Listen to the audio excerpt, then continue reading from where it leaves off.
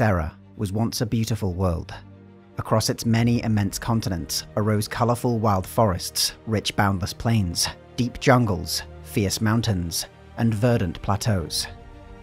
Surrounding them all was a vast expanse of ocean, azure and majestic, in which innumerable island chains were scattered. Yet, in the aftermath of the greatest conflict humanity has ever known, a frenzied war against extinction, Sera is today a scorched and barren wasteland, its scarred landscapes marked by the decaying remains of old battlefields and the ruins of its once proud and busy cities. The spread of humanity across the planet is remembered as the Age of Armageddon. Petty rivalries between neighboring tribes turned into wars between competing kingdoms and empires. For a thousand years, humanity failed to rise above its base instincts, until finally, with the rapid spread of industry and agriculture, the greatest nations were able to abandon their destructive ways and the desire for conquest and conflict that had defined them. No nation of Sera was a perfect one. Each had to contend in their own way with the omnipresent forces of poverty, crime, political instability, and social unrest. But in the absence of any large-scale military conflicts, the entire planet embraced the sciences and the arts, accomplishing new feats of commerce and industry. The triumphs of this age of uninterrupted peace, however, intensified the demands for energy, which neither petroleum or nuclear power could fully satisfy. The discovery of Imulsion would change everything. Through a process known as Lightmass, this naturally occurring substance could be refined into a powerful fuel source, one with the potential to end the global energy crisis. Yet the development of cheap energy shattered the global economy and threw the balance of power into chaos. Imulsion reserves were not spread equally across the nations of Sera, and while some enjoyed an economic boom, others languished. The Pendulum Wars were the natural consequence of this inequality.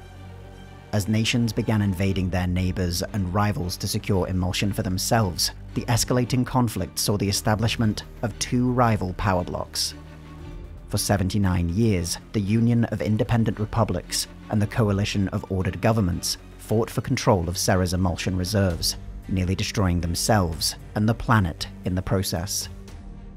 Conventional armies could transform prosperous territories into bleak, colorless wastelands through years of fighting, but with the development of weapons of mass destruction came the power to do the same in an instant.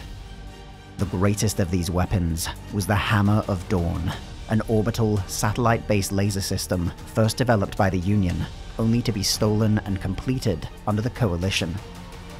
Its use against the Union of Independent Republics forced their near-complete capitulation, bringing the Pendulum Wars to a costly end. The coalition of ordered governments would preside over Sera as the planet's sole hyperpower for only six weeks. Humanity had known for millennia of the existence of a vast subterranean labyrinth of tunnels and caverns known colloquially as the Hollow. This network was the lasting impact of the Riftworms, enormous creatures up to 10 miles long that in ancient times had burrowed their way all across the crust of Sera. In the modern era, the Hollow had been heavily mined or used as a dumping ground for dangerous materials. Yet, unbeknownst to all the nations of Sera, even their deepest efforts had only penetrated into the outermost layers of the Hollow. The network went far deeper than any had suspected. Within its twisting depths, a mutated race of humanity had formed during the Pendulum Wars. Their creation was the result of genetic experimentation, mutated by both exposure to raw Imulsion and the DNA of the strange creatures indigenous to the Hollow.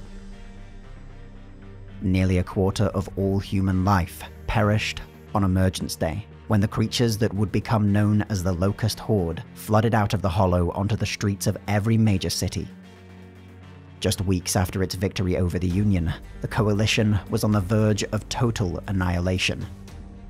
Without options, and faced with a constant assault from beneath its own nations, the Coalition retreated to a few key fortified areas and proceeded to scorch the planet's surface.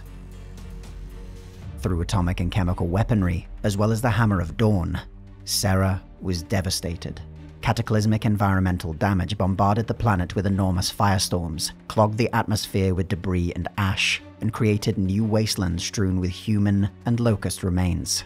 This was hardly the immediate triumph over the Horde that the Coalition had hoped for, instead, only the first in a long series of counterattacks. For nearly two decades, the Coalition and Locust Horde would assail themselves upon the other, bringing devastation to what little remained of Sera. The Hollow would be bombarded, flooded, and bombed again. The Imulsion would be ignited and Locust destroyed. But there could be no victory for either side.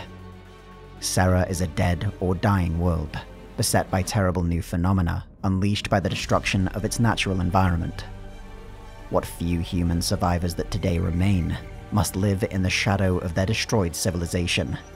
Above them are the towering ruins of their lost glories and accomplishments, while beneath them lies the hollow and whatever terrible threats that as of yet remain undisturbed.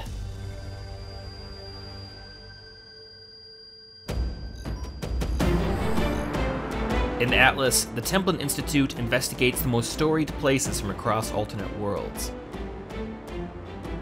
If you've enjoyed this video and would like to join the Templin Institute, consider pledging to our Patreon page. Along with increased security access, you'll be able to vote in polls to determine future topics, get custom wallpaper every week, and receive some other exclusive rewards.